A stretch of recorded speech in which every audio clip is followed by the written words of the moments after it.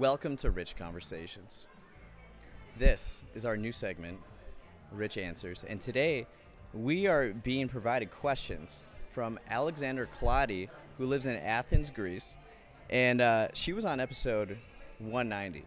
Very talented person, singer, songwriter, and we talked about the history of music. We talked about Bach. We really geeked out about Bach on this one, and she sent in five questions here that I'm going to answer. And uh, right now we are at the Chicago Athletic Association here in Chicago. This is one of my favorite spots. Isn't it nice? It's pretty nice, right?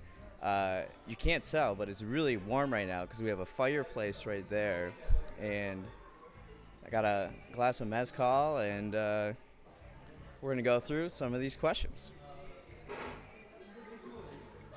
So the first one we have so Alexandra asked, "What did you study at the university?" Something I notice about Europeans is they they use the word university instead of college. So that's something I noticed right away. But I went to DePaul University here in Chicago. Uh, I moved here when I was 18, and I studied communication. Now, originally, I was enrolled in the uh, College of Commerce, and the way the School of Communication was described to me was business without math. And I thought, sign, sign me up for that instead. And I remember taking like the first quarter calculus. So I took calculus again. I took AP calculus in high school and I got a two on the AP exam. And I remember there was like one last question on this like, you know, this test that they have. And it was like this sphere or parabola or something. And I think I just wrote like, I'm gonna be honest. I don't, I don't know the answer to this. And uh, I had to, so then I had to retake it, and I, I aced it. But I, I didn't want to do math again in college, so the school of communication was more like the creative end of business, or like the the people side of business, and that was a lot more fun to me. So I went to DePaul and double majored in PR and advertising and media and cinema studies, and then I minored in applied psychology. So it's really about like why people make decisions and communicating ideas with other people. And uh, when you're coming out of college, kind of the rap that like communication majors get is that it's it's kind of like a BS degree or it's it's like easy, and it's not exactly applicable uh, right away. Whereas like if you take accounting, you know there are jobs that are just like, hey, we need someone in accounting to do this specific thing. So the skills are much more vague and abstract, and you really have to again be creative in how you apply them. So. Uh, that's why I studied at DePaul, and I hosted a radio show with uh, Joe Anhalt, who's been on the show, I believe three times, no, four times, and uh, it's called the Afternoon Snack with Rich and Joe. And there we really harnessed our skills. We won like some award of like best studio skills, and we played just like songs that were just on our minds. So a lot of like 70s, 80s pop music, and then we had segments like Would You Rather and Bieber Talk and uh, all this good stuff. So there we really like we were able to really practice um, communication and things that I use now. So that would be the first one. So I, I studied communication at DePaul University. Okay. The second question that Alexandra has is Did your studies help you to create a career, or did you choose an entirely different path? I would say with this one, uh, you know, like right away, immediately, I probably took a different path. Very much a nonconformist path, path, as you know. Uh, including living homeless in Chicago voluntarily to better understand what it's like and what people go through. uh, to being a rideshare driver and giving over like 4,000 rides around the city uh, to bartending, and you you notice patterns within these. When you take a step back and you notice things, it's all communication. It's all people, and so in a way, it's like applying it creatively to your life. So I, I feel like I did, and then obviously now how the things that we're doing, you could kind of draw that that line that it has uh, helped me. But I, I think a lot of times people they'll say like, "Oh, I didn't even use my degree or whatever." Well, it's kind of like it's what you make of it, right? Why would you spend so much money on college if you if, if you feel like you, you weren't going to use it afterwards? That seems a little silly, right? Uh, so I think also subconsciously, just going through classes and just learning and uh, reading and studying, you kind of like absorb a lot of knowledge in the process. Uh, so I would say overall, that I, I definitely do use the knowledge I gained uh, at university.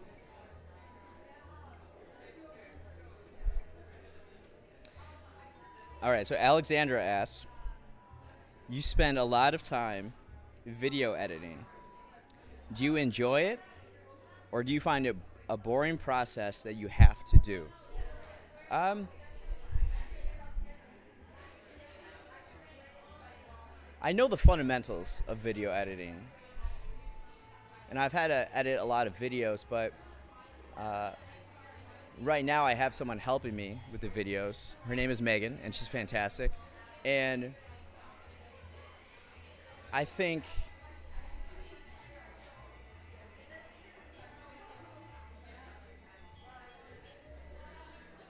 because I know Alexandra, she she makes a lot of videos too for for YouTube, and she hers are really good. You should see her like her whole setup is awesome.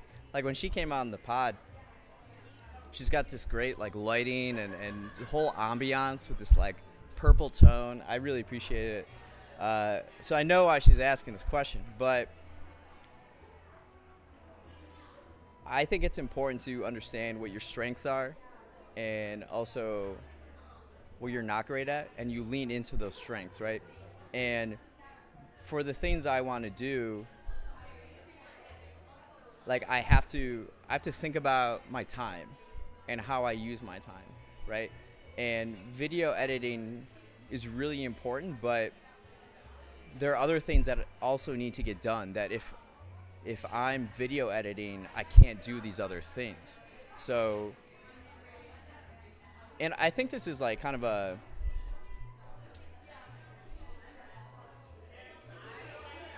like you want to work as a team and you have like an overall goal and aspirations for you what you want to accomplish and everybody has a role to get to those goals right and we each kind of do our own part right so we also have someone on the podcast or helping out the podcast who finds guests. Her name is Kritika and she's fantastic. So she'll send me like a list of a couple hundred people to potentially come on the pod. And I'll go through each individual one. And the way I decide who to have on is like who I who I would be friends with, who I think would be fun, who who I'm just curious about and I want to learn more about.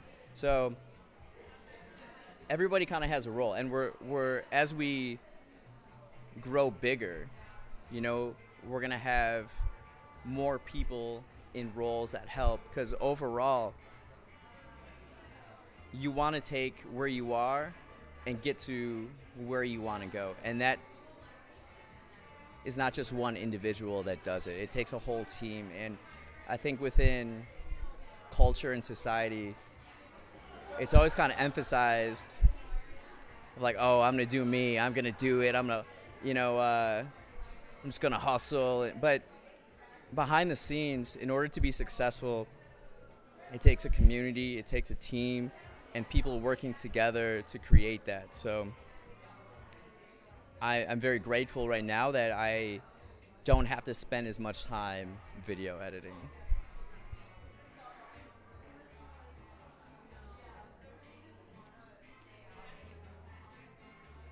Number four, what are your dreams for the future? Professionally and personally? Professionally,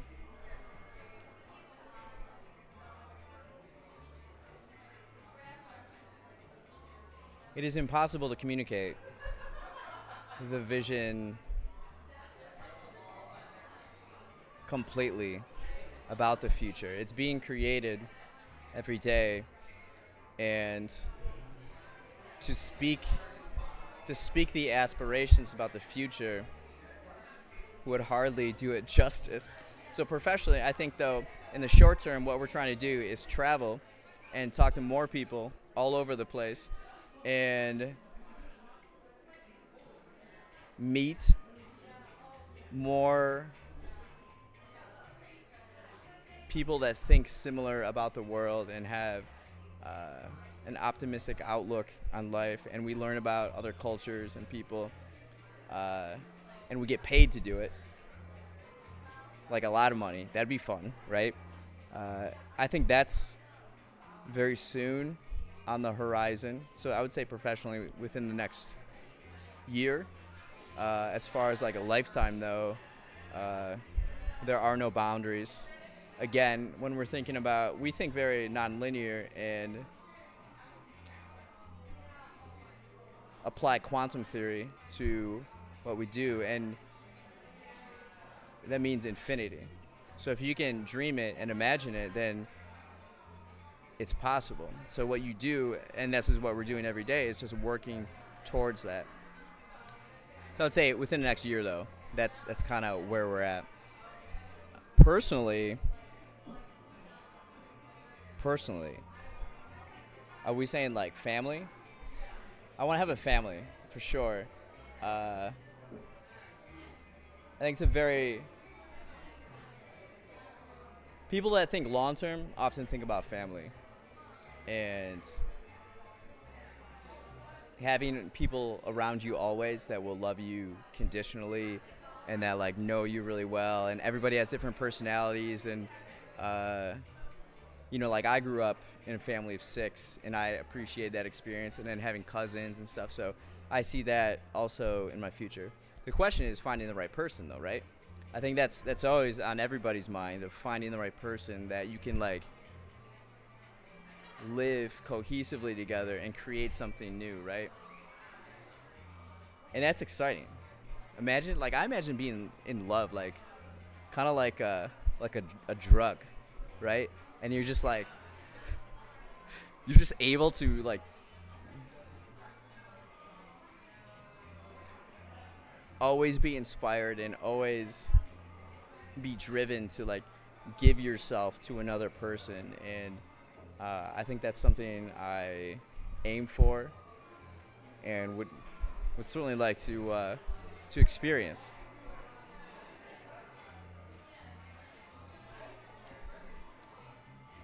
The last question that Alexandra has for us. Again, I recommend checking out Alexandra's episode 190, and uh, we talk about a number of things. She's she's so entertaining. She's like she's from uh, what? How do you say it?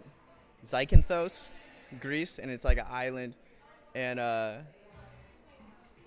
the way she grew up and just like how how cool it seems, and like the lemon scent on on the streets and stuff in Greece. I, I definitely want to go to Greece. I want to go to Athens. I want to go to Sepolia in Athens because uh, Giannis Antetokounmpo grew up there, and I want to kind of take the uh, take the pilgrimage. So, this last one is where in the world where in the world would you like to live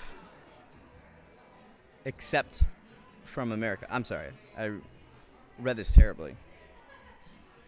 Where in the world would you like to live except America? I would say uh, piggybacking off of our uh, question four answer, I think it's to be determined yet. I think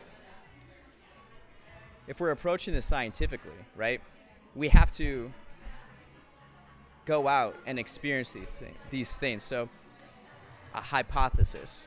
We should travel to places we think that we would like, and then we would experience what the culture is like there and the way of living. And then from those results, we could compare those and see where we would want to live. I think off the top of my head, I think London would be pretty cool. I feel like I could fit in pretty well with London. Uh, I don't think New York. I love New York and I love visiting New York, but I think London fits the personality a little bit more. I feel like I dress more like someone in London. Personally, I think people in New York dress dress bad. I think it's I, it's a little much. I don't know. I think London would be cool. I've been to Spain. Barcelona is probably my favorite city that I've been to. I wouldn't do Paris. I wouldn't live in Paris. If you had to force me, though, I would, I'd live in Paris. Um, Ho Chi Minh City was interesting when I went there.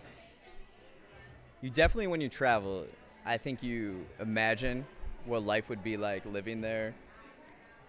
And we went to, on that trip, we went to Hong Kong, Hanoi, Ho Chi Minh City, Bangkok. And I think of those places, Hong Kong was pretty cool too.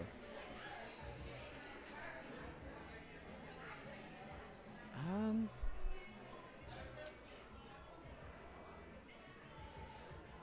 I don't know. Those are some spots. Of course, I have to try out Athens. I have to experience Athens. Um, South America, I'm very interested in. Colombia, Lima. Uh, we gotta have some people on from Brazil.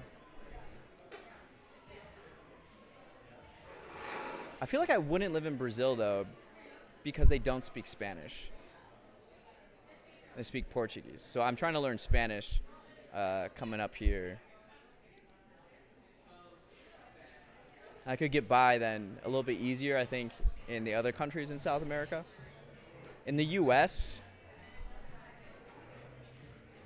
let's see, see what people typically do after living in Chicago is they either go to New York or LA. And like I mentioned earlier, I don't know if I would live in New York. I've I've been to New York enough times where I've observed its strengths and weaknesses, and uh, I don't think I would live there. I love visiting there. I, I love New York, but um, I don't know if I would live there. But this, I guess, this is these are all hypotheticals. so, United States. I like where I live. Like I'm, I think part of a lot of people what I notice is that they're they're always feeling kind of lost or they're trying to find a place that is perfect for them. But a lot of times you have to evaluate what you have around you. Like what do I have here? And I've gone through everything all the awesome things in Chicago and it's like I don't need to go anywhere. I'm gonna stay here. And then Wisconsin, I go up to Wisconsin. I love Wisconsin. So uh, as far as my future goes, I envision and plan to live this is like this hybrid life in Wisconsin and Chicago and traveling all over. So those are our questions from Alexandra Kladi, uh, who is a wonderful person. She's been on. Uh, check out her YouTube channel. Check out the videos we have on there. And um, yeah, we'll see you next week with Rich Answers.